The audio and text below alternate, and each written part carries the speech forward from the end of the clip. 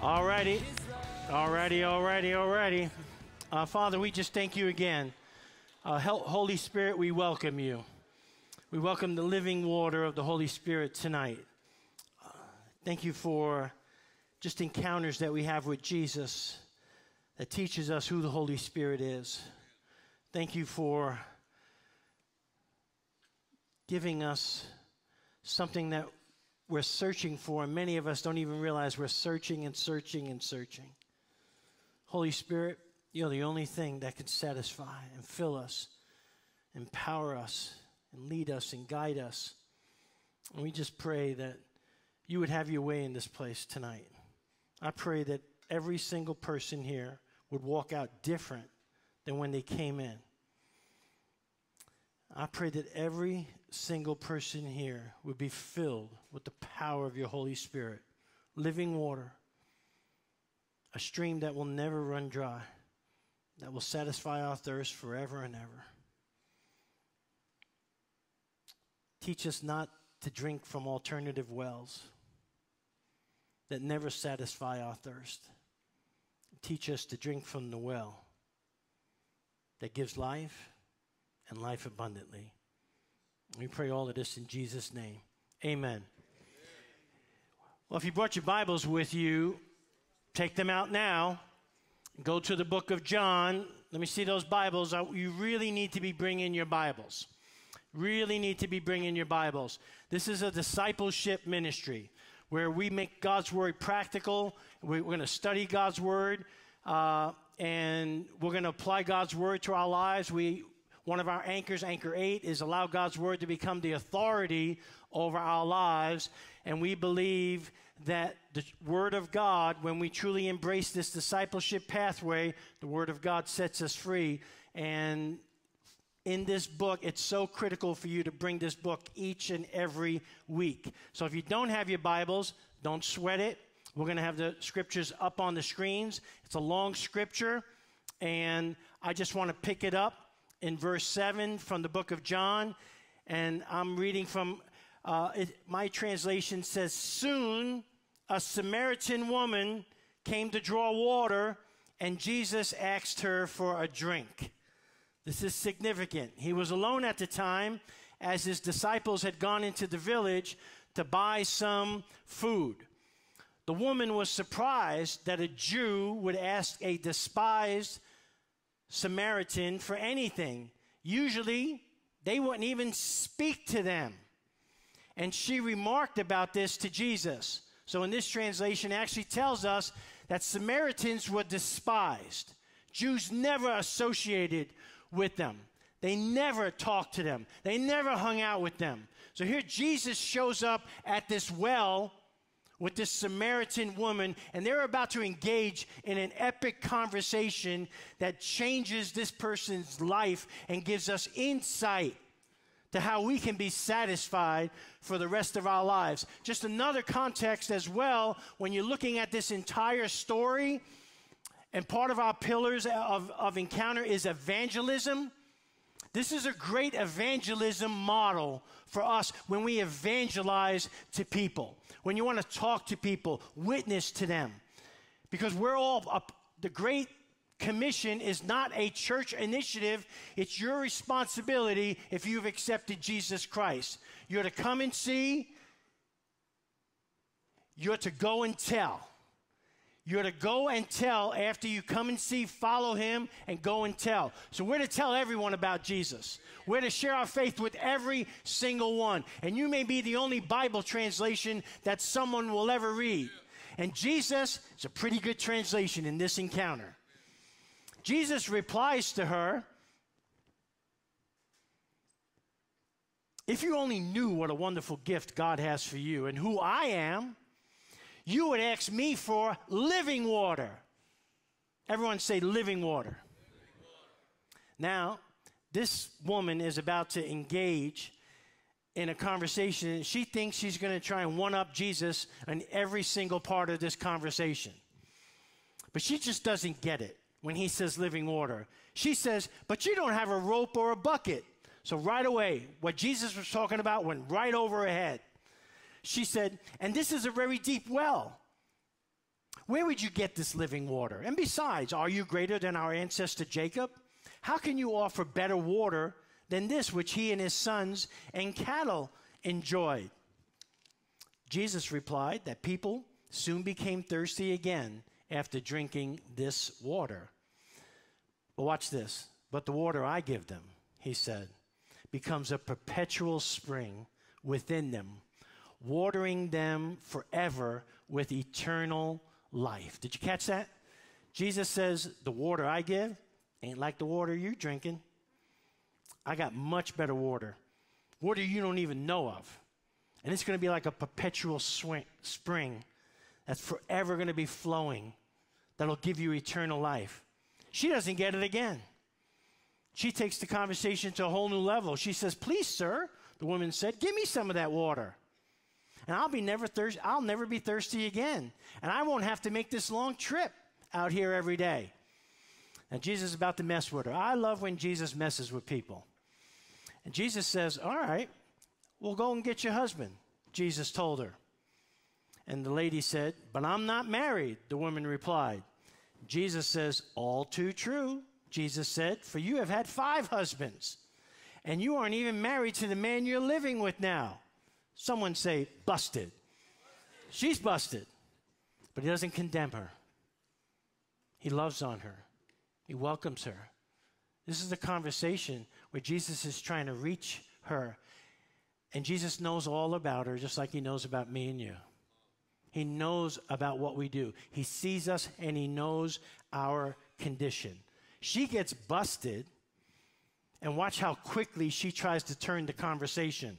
Sir, the woman said, You must be a prophet. But say, tell me, why is it that you Jews insist that Jerusalem is the only place of worship? while we Samaritans claim it is here at Mount Gerizim where our ancestors worshiped. She changes the whole conversation. And Jesus replied, Jesus says, You really want to go there? All right, let's go there. And Jesus replied, The time is coming, ma'am, when we will no longer be concerned about whether to worship the Father here or in Jerusalem.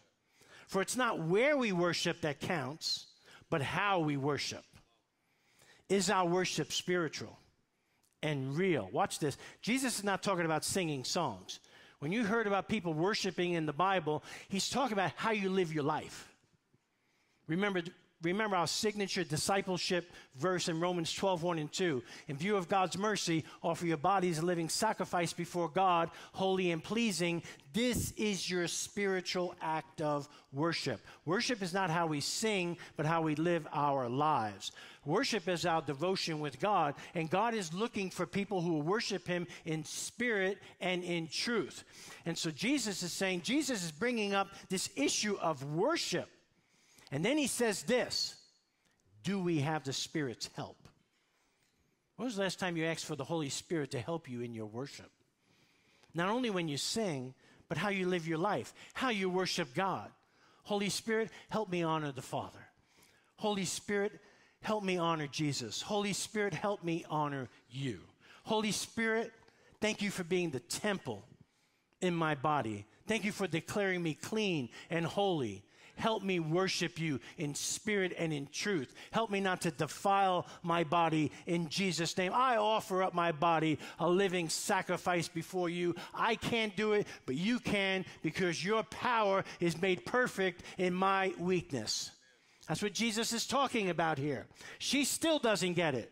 Jesus goes on to say, For God is spirit, and we must have his help to worship as we should. The Father wants this kind of worship from us. Did you catch that?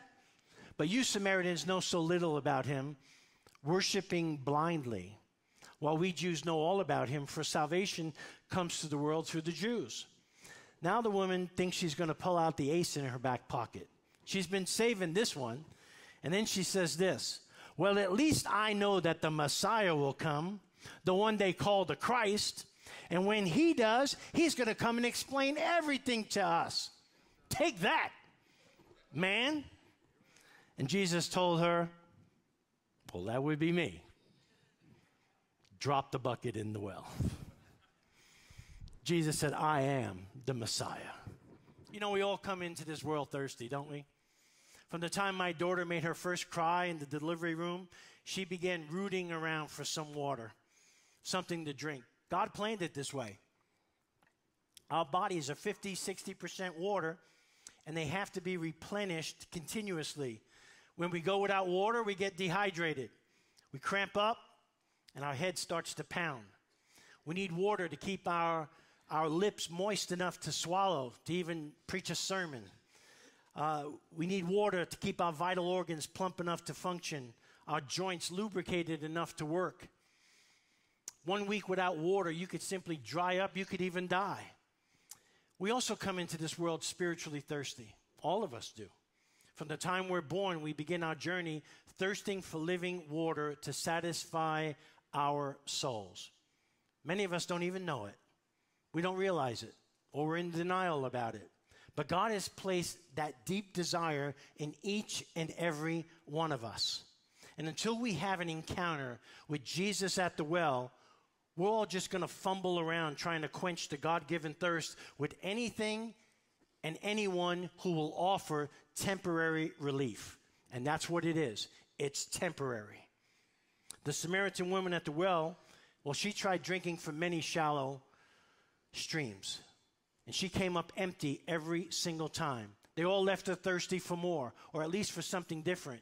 And Jesus shows up and offers us something different, something miraculous, something that will quench her thirst forever. Jesus offers flowing, refreshing water.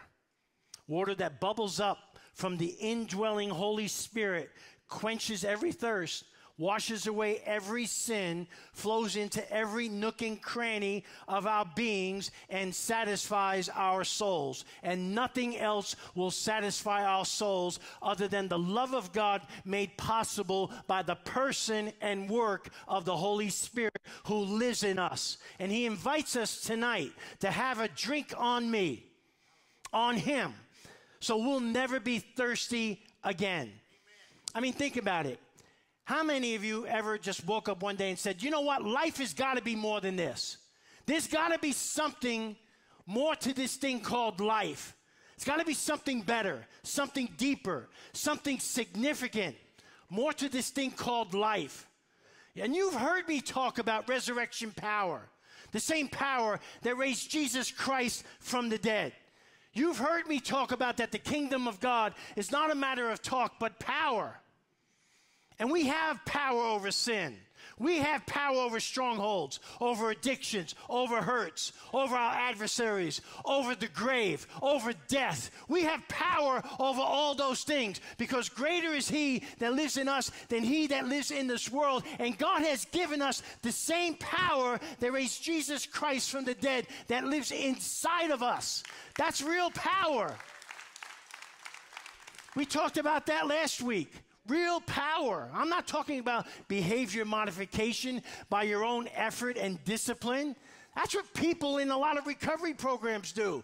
And they wind up in a spin cycle of insanity, of trying harder, doing the right thing, falling, getting back up again, trying harder. It's a spin cycle of insanity. But life transformation, miraculous healing work of the Holy Spirit, of the Holy Spirit's power flowing in and through us like a river that never ends is what I'm talking about tonight. Jesus clearly demonstrated that this could be made possible. He stood up one time in John and he said this. He stood up and he shouted to the crowds and he says, If anyone is thirsty, let them come to me. Anyone who believes in me may come and drink. For the scriptures declare rivers of living water will flow from his heart. And the scripture says this when he said living water, he was speaking of the Spirit who would be given to everyone believing in him. But the Spirit had not been given yet because Jesus had not entered into his glory. According to Jesus, the Holy Spirit is that source of something more. That's what we're thriving for. That's what we're searching for. That's what we need the most. That's the only thing that will give you peace and power, contentment, purpose in life. This is why we're doing a series on the Holy Spirit. This is why Jesus invites us to have a drink on him. Now, the phrase Jesus used, living water, was meant to evoke, among other scriptures, Jeremiah 2.13, which says, My people have committed two sins. They have forsaken me, the spring of living water, which by the, by the way is a great name for Jesus, the spring of living water and have dug their own cisterns, broken cisterns that cannot hold water. What's a cistern? It's a broken, dried up well. That's all it is. They have forsaken me. They've dug, dug their own cisterns, broken cisterns that cannot hold water. See, many of us can relate to this concept of living water. It's just another term for fresh water. Stuff you use to water plants, grow crops, clean dishes, the stuff you drink to live. And importantly, it stands in opposition not to dead water, but salt water. Salt water looks good, looks like fresh or living water, but if you drink it for any length of time, it'll kill you. I just moved back from the state of California. This is so ignorant that that state is dried up. They're always experiencing droughts, and they're right on the Pacific Ocean, where they have all this water that can be converted to living water, but they won't do it because they're concerned about little minnows that may die. Therefore, there are fires and people die because little minnows are more important than the people dying in the fires. Where's Jeff Foxworthy when you need him? A person could be stranded in the middle of the ocean, floating on top of trillions of gallons of it, and actually die of thirst. See, the more salt water you drink, the thirstier you get. Now, if there's a better picture for sin, somebody stop me right now. It's not just that our souls need living water or will die of spiritual thirst. It's that we're dying of thirst because we drink from alternative wells, chugging down salt water instead of fresh living water. We do it all the time. And like the body, the soul can't go very long without living water. And if we're drinking from alternative wells, like insecurity, unforgiveness, meaninglessness, loneliness, hopelessness, emptiness, boredom, dissatisfaction, worry, anxiety, passivity, men, and many other dry wells, they'll make us thirsty for more water. Our souls are constantly crying out for something to drink and so we drink. But all temporary forms of refreshment, sex, drugs, success, fame, busyness, entertainment, travel, materialism are in the end just salt water. In the moment, they taste good, they feel good, there's a good payoff, they feel good on our lips, but in the end, they only make us thirstier. If we persist in drinking them, we'll become spiritually terminal. So if you feel unsatisfied with your life and you want a fulfilled, meaningful life, you need to take Jesus up on his offer and have a drink on him tonight instead of looking for satisfaction elsewhere. See, we're always looking around trying to find something to make our lives happy and significant. Well, if I wear what they wear, then I'll be cool. You got guys trying to get in skinny jeans, size 10, when they were size 18. What in the world's going on there? Well, if I can just have this plastic surgery here, here, and here, my life would look really good. If I could just get this job, I'll be satisfied. See, and not only have we rejected God and not looked to Him to meet all of our needs and satisfy our needs, we're also trying to meet our needs on our own. And those wells we've dug called a career, good looks, or recreational activities, they aren't going to hold water. Now, is having a, a good career, looking your best, or having a hobby a sin? Of course not. But it's when we place those things above God that it is. And the more you make an idol of something, the more control it has over you. Sin is addictive. It only makes you thirstier. If you don't believe that, just ask someone who's looked at pornography. once is not enough. Sin creates a, a greater thirst for satisfaction. If you have a problem with shopping, you already know that it, it's 117 days away from Black Friday. And it doesn't matter what's going to happen on Thanksgiving Day. Doesn't even matter if Jesus is coming back on a white horse. You're going to be in front of Best Buy beating up some other Christians, most likely the Presbyterians. So you can get a large screen TV, come back to Encounter and say, Praise the Lord, I got a 50 inch TV. But Jesus offers us living water that will permanently satisfy your thirst. So if you feel unsatisfied with your life, you know what that's called? It's called spiritual thirst. And the only one who can quench that thirst is the one who says tonight, Have a drink on me. Being thirsty and drinking water that never satisfies isn't the worst tragedy. Everyone has had a drink of bad water, has had a drink of rotten water. But the greatest tragedy by far is for those who have accepted Jesus Christ as our Lord and Savior into our hearts. We know where the best water comes from. We know where the best water comes from. Yet we still drink the same salt water we used to drink before we became followers. See, when we feel the thirst of insecurity, do we turn to God? Or do we buy clothes, lift weights, clamor for attention, flirt, judge others, put others down, get self righteous, or even get jealous? I'm talking to you, Christians the holy ones. When we feel the thirst of loneliness or dissatisfaction, do we turn to God or do we overeat, binge watch TV, play on the computer, fantasize, or even act out sexually and use sex for attention, even convincing yourself that sex is love when all it does is fuel your lust? When we need confidence, do we rely on God or do we jack up ourselves with music, caffeine, Red Bull, self talk, TED Talks, self reliance, and what the world says. And when you think you don't fit in with the crowd and you long for that acceptance, do you run to Facebook and you post something hoping for a record number of likes just to make you feel better? Where and who are you running to to satisfy those thirsts?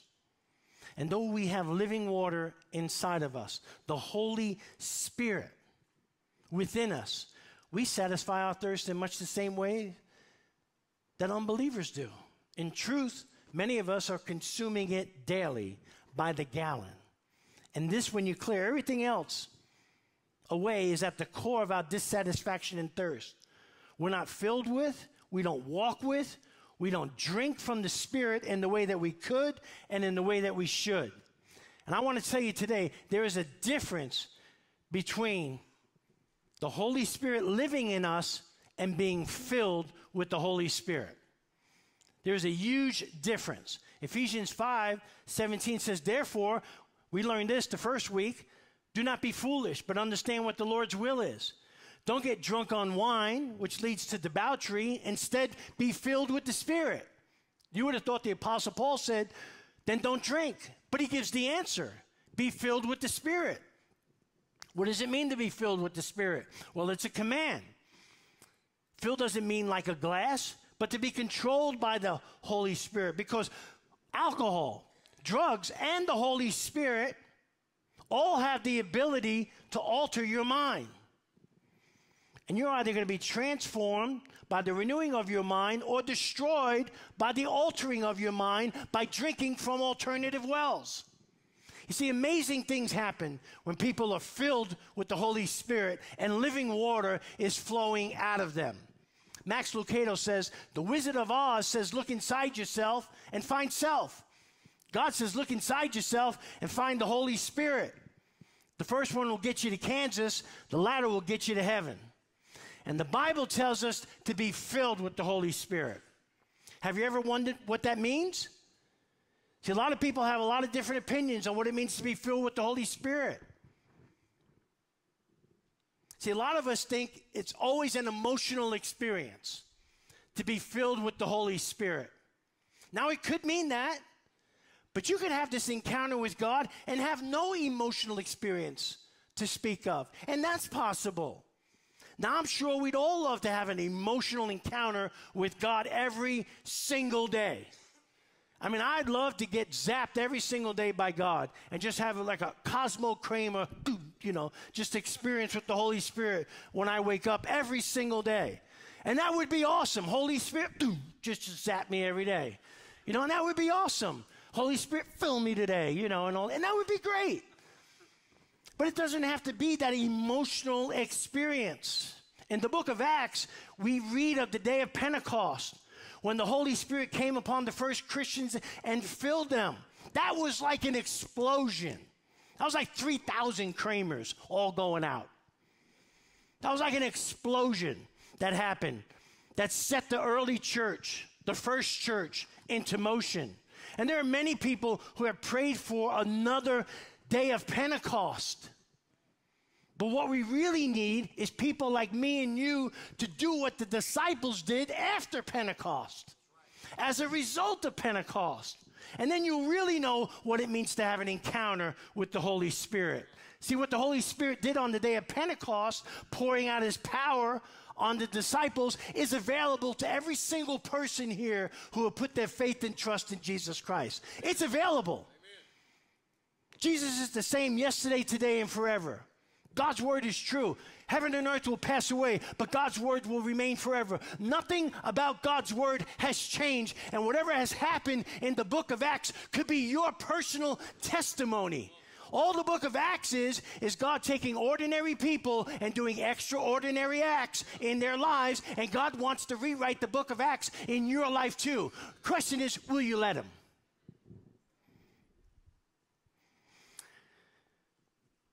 When you start driving a car, there's this boom, there's this explosion when you turn the key or push the button, depending on what kind of car you have. But once the engine has started, after the initial explosion to start the engine up, you know what you do after that? You just drive the car.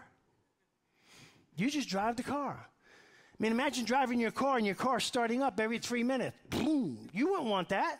That's aggravating. You just want a car that keeps on running. That's what the Holy Spirit does in our lives. You don't need the explosion over and over again, just one to start the engine. Now, thank God for those powerful, emotional, life changing encounters of the Holy Spirit. I, I've experienced a lot of them. God wants us to experience them because God's an emotional spirit as well too.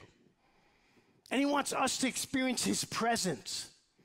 God wants to bless our lives with life altering moments in time where we do experience His presence and His power. Last week, when we were talking about the power of the Holy Spirit, Carrie was up here worshiping and she declared to everyone here, folks, I got to tell you, the Holy Spirit is here. God is here. And as soon as she said that, a rushing wind came into this building. I know, some, some, so many of you came up to me and said, Did you feel that? Did you sense that? There was this wind that, I mean, it almost knocked me over on stage. And I love that. And God's touched me in so many miraculous ways.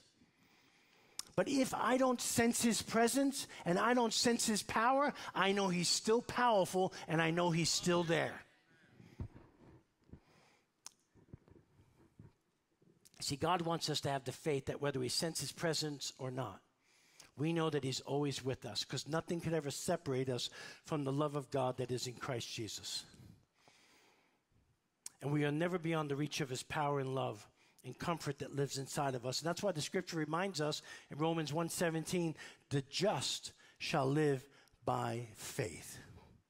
See, the word filled has many descriptions and illustrations, and I love the one Greg Laurie uses in one translation of the word filled, he describes this concept of the wind filling the sail of a ship as it carries it out to sea. I love this illustration. By that definition, to be filled with the Spirit is to allow God to fill your sails and guide your course through life, making His commands a delight and not a burden. See, loving God means keeping His commandments, and His commandments are not burdensome. burdensome. For every child of God defeats this evil world, and we achieve this victory through our faith. 1 John 5 2, 2 through 4. The word filled also speaks of something that is ongoing and continuous. You could translate it, maybe a different translation would be be being filled with the Holy Spirit, just like you have to put gas in your car. Be being filled with the Holy Spirit because we need the constant filling of the Holy Spirit. And the good news is that God's not going to charge you, it's free. All you have to do is ask. But you have to ask because you have no Holy Spirit, because you ask for no Holy Spirit. I know Christians who go through an entire lifetime never praying for the Holy Spirit. I would have people at churches that I worked at in Colorado, in Illinois, they would actually come up to me and say, Oh, don't give me the Holy Spirit. Don't even give me the Father. I just want to follow Jesus.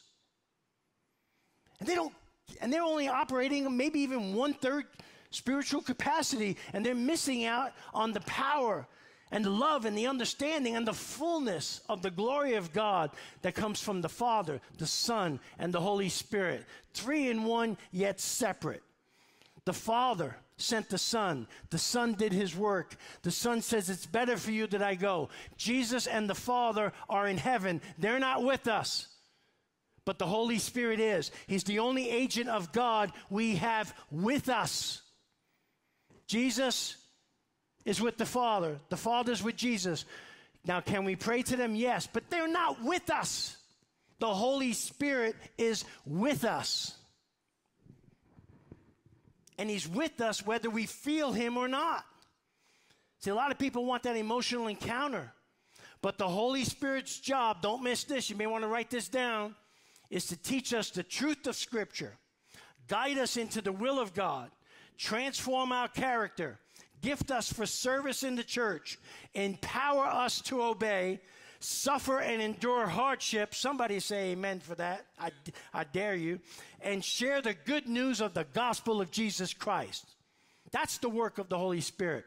The key to being filled with the Spirit is not just in experience, but in obedience. Don't ever miss that. John 14, 21. Whoever has my commands and keeps them is the one who loves me. The one who loves me will be loved by my Father, and I too will love them and show myself to them. How does he show himself to us? I don't know. I'm not that smart. I know who he, who he does it through the Holy Spirit. Does it through the Holy Spirit. So if you're a follower of Jesus, you're always in the presence of the Holy Spirit. Whatever you go through, you take Him through. Whatever you look at, you make Him look at. Whatever you do, you make Him do. Whatever you experience, you make Him experience. That's why it's a good job to let Him create your experiences for you by giving you living water that will transform your life. And the more you surrender your life to His control, the more you're going to sense His love and power and presence in your life. Think of this as a voluntary choice to surrender your life to the Holy Spirit's control. In other words, be sensitive to His leadership, His guidance, obedient to His promptings, and dependent upon His strength. He's speaking to you every day. How many times a day do you hear the Holy Spirit's voice? If you say none, it just simply means that you've not allowed Him to fill you with living water. And that's going to change tonight. Doesn't make you a bad person or a wrong person. It just means that God says that's going to end. I'm going to fill your thirst. I'm going to satisfy your thirst. I'm going to fill you up where you always hear my voice. God wants you to know the voice of God. God wants you to know the power of God. God wants you to know the presence of God the peace of God that the world doesn't offer. And God wants you to share that with others. You see, the evidence of the Spirit's control is always revealed in the person's character. Those that have yielded their lives to Christ's leadership are continually transformed into His likeness. That's the Holy Spirit's job. The degree of surrender determines the degree of transformation. The degree of surrender opens up the door to the level of what type of experience that you'll have. There are a lot of people, they want to get zapped every day, okay? But they don't want to obey God. They want to talk about God. They want to represent God. They want to prophesy over people, but they don't want to obey God. They don't want to submit to God. They don't want to be like God. Stay away from those people. They're dangerous. You'll always know them by their fruit, Jesus said. Most of the time, the power of the Holy Spirit is released in your life in quiet, unassuming ways. Nudges, gentle whispers. My son, my daughter, I love you. Go tell that person I love them. Do it now. Go give that person a $100. Oops, that was the Holy Spirit for a second. No, it is. You see, Christ likeness is not produced by imitation, but by inhabitation. You can't become like Christ until you allow the Holy Spirit to consume your life.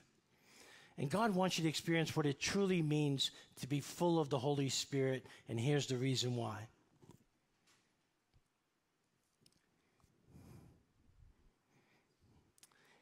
He loves you so much.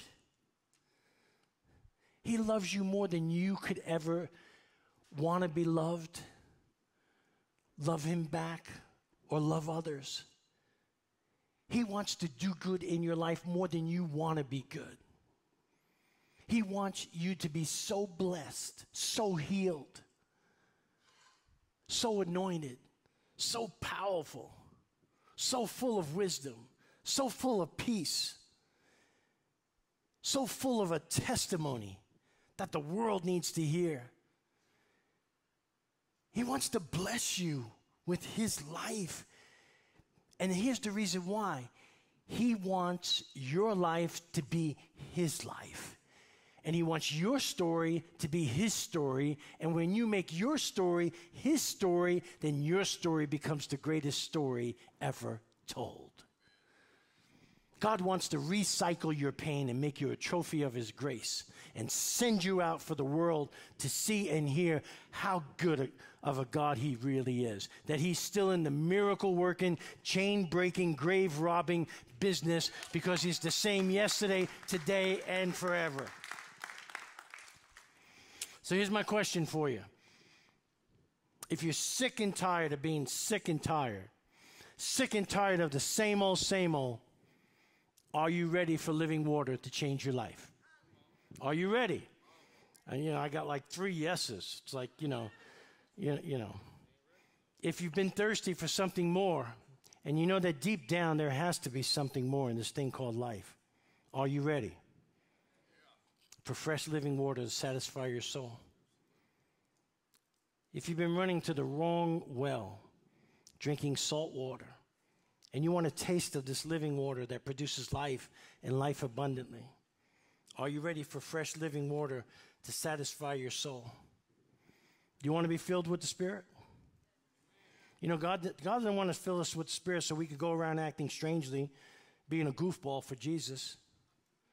God wants to fill us so He can have good representation, that you can operate in the fruits of the Spirit love, patience, kindness, faithfulness, long suffering in your life. Always remember, God's looking for good fruit, not religious nuts. If you want to be filled with the Spirit and you want to turn from drinking salt water and turn to God, Peter tells us, Peter gives us the instructions. He says this Each of you must repent of your sins and turn to God and be baptized in the name of Jesus Christ for the forgiveness of your sins. Then you will receive the gift of the Holy Spirit. I'm going to give everyone an opportunity to do that in just a second as I ask the worship team to come on up. See, when you believe, trust, repent, turn, and receive Jesus into your hearts, you receive the gift of the Holy Spirit. You receive the gift of the Holy Spirit, but you still need to pray for the Holy Spirit. And you need to pray to Him all the time. That's why when people talk about the baptism of the Holy Spirit, it's just the Holy Spirit giving you all His gifts, giving you all His power. You know, do you want a glass or do you want to be you want to be drenched in a bucket of living water? I want to be drink. You know, when my mom gave her life to Jesus Christ, four months before she passed away, hated God, never wanted to do anything, never wanted to, to have anything to do with Jesus Christ. When I called her up, I told her about what it means to be born again. She thought I'd joined some hee haw cult because I lived in Kentucky. I could never witness to her. But God uses pain to get our attention. And four months before she passed away, she gave her life to Jesus Christ in a miraculous way. And I'll never forget, uh, I was in my sister's basement. She confessed Jesus Christ, and I dropped a bucket of water over her head and baptized her in Jesus' name uh, because I didn't want to take any chances. And those were the best four months of her life. She experienced the power of God, she experienced the hand of God, and she went in singing and dancing. And she, she probably didn't even know what she got herself into. But we need to pray for the Holy Spirit. You need to pray for his gifts. You need to pray for his power. You need to pray for his peace. You need to realize tonight that anything and everything God wants to do in your life through the Holy Spirit comes through prayer. Again, we're reminded by the words of Jesus, and he says in Luke, For everyone who asks receives, everyone who seeks finds, and to everyone who knocks, the door will be open. So if you sinful people know how to good give, how to good, give good gifts to your children, how much more will your heavenly Father give the Holy Spirit to those who ask? So we're going to pray for God to fill us pray for God to live inside of us, to gift us with, his, with gifts, miraculous gifts, the gifts that He chooses to give. I don't want anybody feeling bad because you prayed for a gift and then someone told you you don't have enough faith. It's God who chooses the gifts that He wants to give to you. God determines the gifts that He gives. Bottom line, you pray for the baptism of the Holy Spirit, you're baptized in the Holy Spirit if you prayed that by faith. Amen? Stay with me now. Don't lose me. Don't go drinking from another well. See, when you receive the Holy Spirit of God who lives inside of you, that's a one time event. But when you ask to be filled again and again and again, you're drinking the fresh living water Jesus was talking about. You get out of the way and you just start saying yes to all the promptings of the Holy Spirit. And you allow God to do whatever He wants to do in your life. You want to get close to God, you have to learn how to run errands for the Holy Spirit. And God says, if you're faithful over a few things, I'll make you ruler over many. And God will reward your faithfulness to saying yes to the Holy Spirit's prompting and filling, especially the filling of this living water that Jesus promised us. To allow God to produce the things He wants to produce in you, all you have to do is say, I'm all in. I want to take you up on your offer tonight, Jesus, to have a drink on me. If you need fuel for your life, you need to be filled with the Holy Spirit. Get filled with the Holy Spirit, and you'll get fulfilled in life. That's the only way you'll be fulfilled in life. Happiness is found when we're filled with the Holy Spirit and we let Him leave and we let Him lead our lives. Friends, drinks are on the house tonight at Encounter. Courtesy of Jesus Christ, who invites you to have a drink on Him. I promise you, it'll be the best happy hour you've ever been a part of.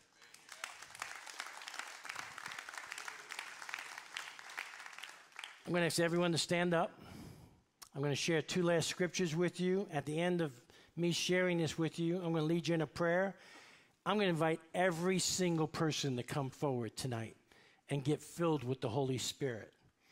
Revelation 21 5 says this He, he who was seated on the throne said, I'm making everything new. Does anyone need a new start tonight? Anyone need God to make things new tonight? And then he said, Write this down, for these words are trustworthy and true he said to me, It is done. I am the Alpha and the Omega, the beginning and the end. To him who is thirsty, I will give the drink without cost from the spring of the water of life. He who overcomes will inherit all of this. And I will be his God, and he will be my son and my daughter. Is that a great promise for you tonight? Revelation 22 17 says this The Spirit and the bride say, Come. And let him who hears say, Come. Whoever is thirsty, let him come. And whoever wishes, let him take the free gift of the water of life. So I'm going to give you an opportunity to commit your life to Jesus Christ. And maybe it's a, a recommitment because you never really committed your life in the first place. Because when you committed your life, you were still drinking and continue to drink from these alternative wells. Because you missed what a real salvation experience and being filled with the Holy Spirit is all about. So I want to lead you in a real prayer of repentance. When you accept Christ, what repentance means is you simply start walking in a different direction. Repentance says, I'm walking this way, and I acknowledge my sins, I see my sins, I repent of my sins, I turn from my sins and I leave my sins and put them in the hands of Jesus, who died for my sins, became my sin, so I can be forgiven of my sin and never have sin have power and dominion over me ever again. I'm going to invite you all to come up and take communion. There's communion at every table up front. I'm going to invite you to pray with people that will pray that God will fill you with the Holy Spirit. We're going to worship. We're going to find out who really is thirsty. I believe we're all thirsty. I'm thirsty. Are you thirsty? Are you ready for living water? Well, pray this prayer either for the first time or a prayer of recommitment. The Father, I have sinned. I've sinned against you, myself, my family. I repent of those sins. I turn from those sins. And I trust you, Lord Jesus to forgive me of my sins. I believe that you are the Christ, the Son of the living God. And I confess with my mouth and believe in my heart what I just declared. Thank you for forgiving me. Thank you for saving me. Thank you for writing my name in a book never to be erased. And now I pray for your Holy Spirit to fill me, to give me gifts, to empower me, to live the life that you've called me to live. Give me some of that water. I'm thirsty, and I don't ever want to thirst again because I want to drink your water, a perpetual spring of living water that will never run dry. Amen. If you prayed that prayer for the first time, would you raise your hand and let us say, Oh, yeah, come on, come on. Amen. Amen. Amen. Amen. Come on now. Let's worship. Let's pray. Let's take communion and let's drink from the well that never runs dry.